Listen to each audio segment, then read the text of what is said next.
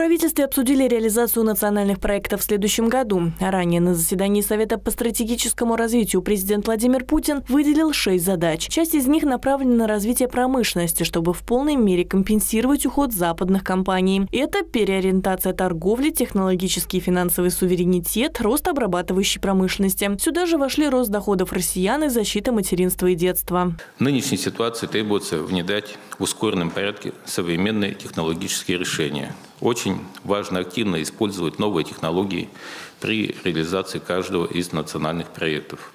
Это касается не только промышленности, но и социальной сферы – Необходимо создавать условия для развертывания новых высокотехнологичных производств и добиваться прогресса в привлечении инвестиций в наш регион. Губернатор обозначил необходимость развития транспортной инфраструктуры. Сюда входит не только ремонт дорог, но и обновление подвижного состава, развитие логистических цепочек в портовой экономической зоне и развитие судоходства. Что касается года уходящего, то среди нас проектов лидеров оказались туризм, производительность труда, малое и среднее предпринимательство, культура, цифровая экономика, международная международная кооперация и экспорт. В этом году по нацпроектам работали над 30 объектами капитального строительства. Шесть из них уже введены в эксплуатацию, 8 будут введены до конца года. По 15 объектам продолжится работа в следующем году. Ну вот здесь примеры как раз объектов, которые у нас введены, а, уже введены а, шесть объектов. Они представлены здесь на слайде. Это два детских сада, э, Значит, это три объекта в рамках нацпроекта «Культура»,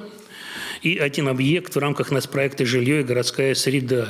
Также в следующем году начнут строительство нового корпуса губернаторского лицея номер один, медпунктов в пяти селах, автомобильных дорог по улицам Шигаева и Автозаводская. Продолжится строительство магистрального водовода в Чердаклинском районе, школы в Димитровграде, моста на улице Смычки в Ульяновске и Очистных. Анна Тищенко, Улправда ТВ.